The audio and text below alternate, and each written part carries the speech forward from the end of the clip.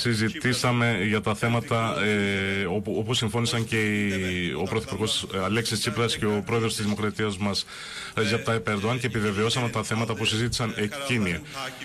Και συζητήσαμε μαζί ε, ξανά και εξετάσαμε το πώς μπορούμε να εξετάσουμε, να παρακολουθήσουμε τα θέματα που αποφάσισαν οι δύο ηγέτες. Ε, περίπου πριν από μια εβδομάδα με τον Γιώργο ε, συναντηθήκαμε με τον Γιώργο στην ε, οικία του, της ελληνικής ε, πρεσβείας σε δείπνο και θέλω να εκφράσω την ικανοποίησή μου εδώ πέρα. Θα πρέπει να ξεπεράσουμε μαζί τις προκλήσεις που αντιμετωπίζουμε και να αξιοποιήσουμε μαζί τις ευκαιρίες στην περιοχή.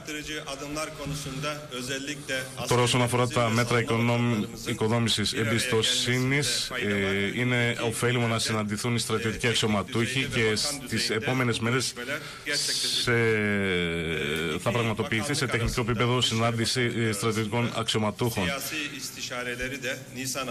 Και τον Απρίλιο, στις 12 Απριλίου, θα ξεκινήσουμε τις πολιτικές διαβουλεύσεις μεταξύ ε, των δύο Υπουργείων και οι συναδελφοί μας θα, θα συζητήσουν σε αυτό το επίπεδο όλα τα θέματα. Φυσικά, το, η αύξηση του εμπορίου ε, μεταξύ των δύο χωρών, η αύξηση των επενδύσεων μεταξύ των ε, δύο χωρών και η αύξηση των τουριστών είναι ένας από τους στόχους μας. Δηλαδή να ενισχύσουμε την οικονομική συνεργασία μεταξύ μας.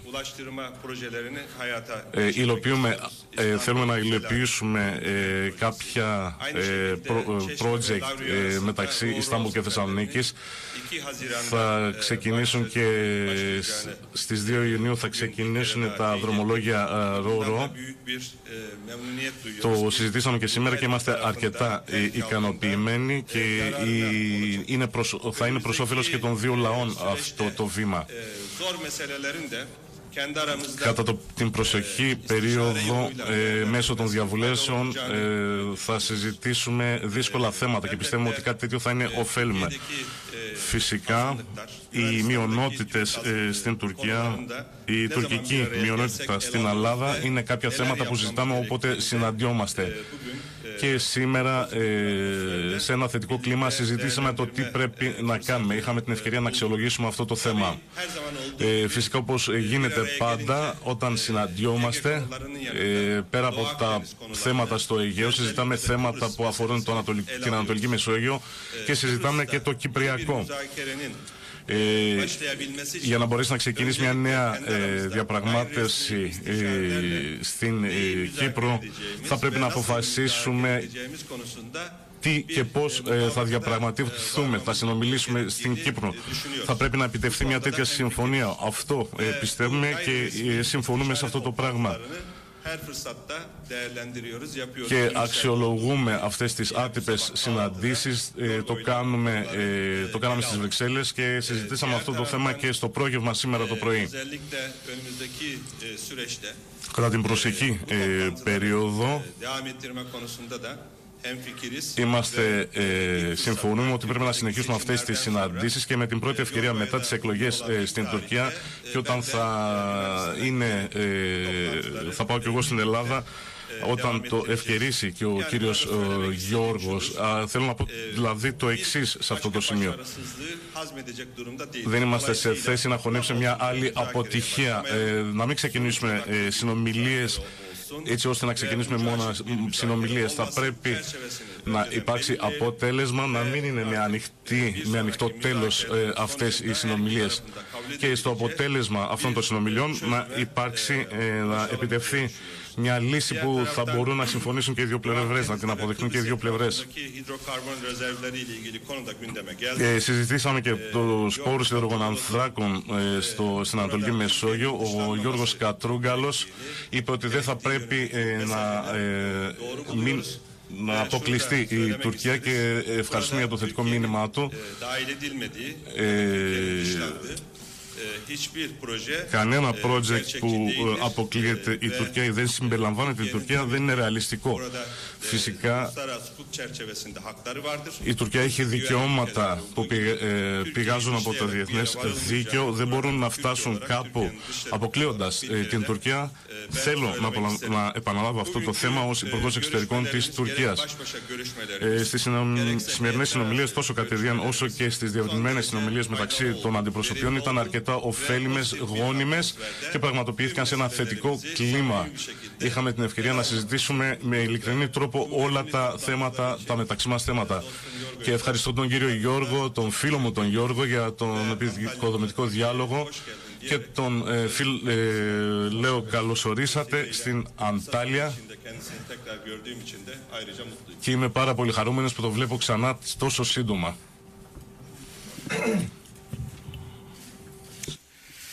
Ευχαριστώ και εγώ από τη μεριά μου το φίλο Μευλούτ για το καλωσόρισμα, για την πολύ θερμή φιλοξενία. Είμαστε εδώ πράγματι για να προχωρήσουμε τη θετική αυτή ατζέντα όπως ε, συμφώνησαν οι δύο ηγέτες μας λίγο καιρό πριν στην Άγκυρα. Είναι κάτι που προσπερνά τις δύο χώρες αλλά που οι δύο χώρες μπορούν να δώσουν ένα παράδειγμα για το πώς μπορεί να υπάρξει ειρηνική συνύπαρξη με σεβασμό των κανόνων του διεθνούς δικαίου. Ο Μευλούτ ήταν πριν λίγες μέρες στη Νέα Ζηλανδία όπου διαπράχθηκε ένα αποτρόπο έγκλημα όχι εναντίον μουσουλμάνων εναντίον της ανθρωπότητας εναντίον της ειρηνικής συνύπαρξης. Εμείς δεν πιστεύουμε στον πόλεμο των πολιτισμών. Εμείς πιστεύουμε ότι οι σχέσεις μεταξύ των λαών πρέπει να χαρακτηρίζονται από τον αμοιβαίο σεβασμό και ότι οι σχέσεις μεταξύ των κρατών πρέπει να βασίζονται στο διεθνές δίκαιο, στο σύστημα πολυμέρειας των διεθνών θεσμών που πρέπει να κάνουμε οτιδήποτε για να μπορέσει να λειτουργεί αποτελεσματικά και να δίνει λύσεις στα προβλήματα εκεί όπου υπάρχουν. Κομμάτι λοιπόν της θετικής μας ατζέντας είναι ακριβώς πώς θα εξασφαλίσουμε το σεβασμό του διεθνούς δικαίου, πώς θα εξασφαλίσουμε την αποκλιμάκωση της έντασης στην περιοχή μας και ε, εφαρμόζοντας μέτρα εμπιστοσύνης που έχουν ήδη συμφωνηθεί, επανεξετάζοντας την καλύτερη εφαρμογή τους, όπως το περίφημο μνημόνιο Παπούλια Γελμάς, και βρίσκονται τρόπους γενικότερα να συζητήσουμε για την επίλυση των προβλημάτων που μας απασχολούν. Για αυτό το λόγο είμαστε ανοιχτοί και στην ευρωπαϊκή προοπτική της Τουρκίας. Ακριβώς γιατί θεωρούμε ότι είναι προς το συμφέρον της Ευρωπαϊκής Ένωσης, του τουρκικού λαού, αλλά και της Ελλάδας να έχει μια φιλική ευρωπαϊκή Τουρκία ε, στα ανατολικά μας σύνορα. Και φυσικά επαναλαμβάνω το μέτρο της αρμονικής συμβίωσης μεταξύ των κρατών το δίνει το διεθνές δίκαιο. Όπως πολύ σωστά είπε ο φίλος μου ο Μευλούτ, εμείς θεωρούμε ότι σε όλα τα θέματα που την αφορούν η Τουρκία έχει δικαιώματα. Στο θέμα της ενέργειας εμείς έχουμε υπερασπιστεί το δικαίωμα της Κύπρου, αυτονόητο δικαίωμα να διαχειρίζεται τους πόρους της αποκλειστικής οικονομικής της ζώνης προς όφελος και των δύο κοινοτήτων του νησιού. Είναι προφανές όμως ότι στην Ανατολική Μεσόγειο και η Τουρκία έχει δικαιώματα που της αναγνωρίζει το δίκαιο της θάλασσας που εμείς κατεξοχήν θέλουμε να ισχύει και να διέπει τις μεταξύ μας διαφορές. Θελήσαμε να προχωρήσουμε ιδιαίτερα τη θετική ατζέντα σε θέματα οικονομίας, σε θέματα πολιτισμού, σε θέματα κατανόησης μεταξύ των λαών. Και οι δύο πλευρές έχουμε πάρει πρωτοβουλίες για την αναστήλωση πολιτιστικών και θρησκευτικών μνημείων ε, στις δυο μας χώρες. Εμείς ιδιαίτερα ε, φροντίζουμε να αναστηλωθούν το Μουράτ Ρέις ε, στη Ρόδο, το τέμνος του Βαγιαζίτ ε, στο Διδημότυχο, Με χαρά άκουσα από τον ε, φίλο Μευλούτ ότι ολοκληρώνονται οι εργασίες της Παναγίας ε, της Σουμελά και με διαβεβαίωση ότι στις 15 Αυγούστου αυτή τη χρονιά θα μπορέσει να ξαναγίνει η λειτουργία εκεί όπως γινόταν ε, τα προηγούμενα χρόνια. Και όπως είπε και ο Πρωθυπουργός στη Χάλκη θα θεωρούσαμε ένα ιδιαίτερα θετικό γεγονός στην επαναλειτουργία της σχολής εκεί ακριβώς ένα δείγμα ότι είναι δυνατός ο διάλογος του Ισλάμ με την Ορθοδοξία και γενικότερα με τον Χριστιανισμό. Αλλά πέρα από αυτό, το μήνυμα που είπα στην αρχή, ότι δεν υπάρχει πόλεμος μεταξύ των πολιτισμών, αλλά δυνατότητα συνύπαρξης προς όφελος των λαών μας. Μιλήσαμε και για την ε, μειονότητα, τη μουσουλμανική μειονότητα, όπως την προβλέπουν οι συνθήκες στην ε, ε, Ελλάδα και του είπα ότι προφανώς είναι Έλληνες πολίτες και έχουμε κάθε ενδιαφέρον και υποχρέωση να φροντίσουμε για την ευημερία και για την εκπαίδευσή τους. Και κουβεντιάσαμε επίσης και για τα δικαιώματα της μειονότητάς μας στην Κωνσταντινούπολη. Του έδωσα ένα ζήτημα που νομίζω θα αντιμετωπιστεί θετικά για την ανάγκη να αντικατασταθεί η διοίκηση στα βακουφικά ιδρύματα. Συμφωνήσαμε όμως και για την προώθηση της οικονομικής συνεργασίας για ένα οικονομικό φόρουμ που θα γίνει στην ε, Κωνσταντινούπολη προετοιμάζοντας ε, και την μεγάλη οικονομική συνάντηση που θα γίνει όταν οργανωθεί το Ανώτατο Συμβούλιο Συνεργασίας στη Θεσσαλονίκη όπως έχουν συμφωνήσει οι δύο ο Πρωθυπουργός και ο Πρόεδρος ε, της Τουρκίας. Με λίγα λόγια τι θελήσαμε να κάνουμε; Να θέσουμε ένα πρόγραμμα που με μικρά βήματα, χωρίς να επιδιώκουμε να θέτουμε μεγαλεπίβολους στόχους που δεν θα μπορέσουν να ικανοποιηθούν, να βρισκόμαστε σε συνεχή διάλογο που θα βελτιώνει την κατάσταση. 12 Απριλίου είναι η συνάντηση σε επίπεδο α, Υπουργείων Εξωτερικών για την οικοδόμηση μέτρων εμπιστοσύνης, την κατάσταση του που βρισκόμαστε στον τομέα αυτό και συμφωνήσαμε με το φίλο Μευλούτ να έχουμε στο πλαίσιο αυτής και την πρώτη άτυπη διερευνητική συζήτηση για το που βρίσκονται οι δύο πλευρές σε σχέση με το μείζον θέμα του Κυπριακού. Όπως ξέρετε, εμείς θεωρούμε το Κυπριακό πάνω απ' όλα σαν ένα θέμα εφαρμογής του διεθνούς δικαίου. Η Ελλάδα εστιάζει αποκλειστικά στο θέμα της διεθνούς της διάστασης.